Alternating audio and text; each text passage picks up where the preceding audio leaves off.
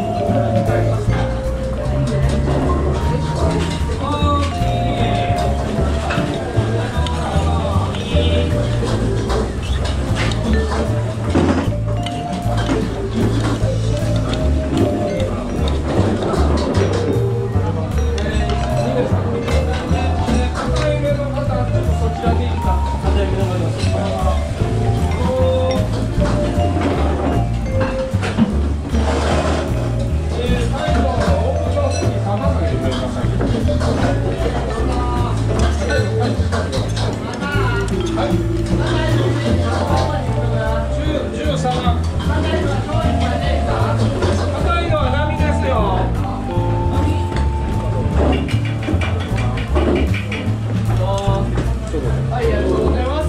いらっしゃいませ。こんにちは。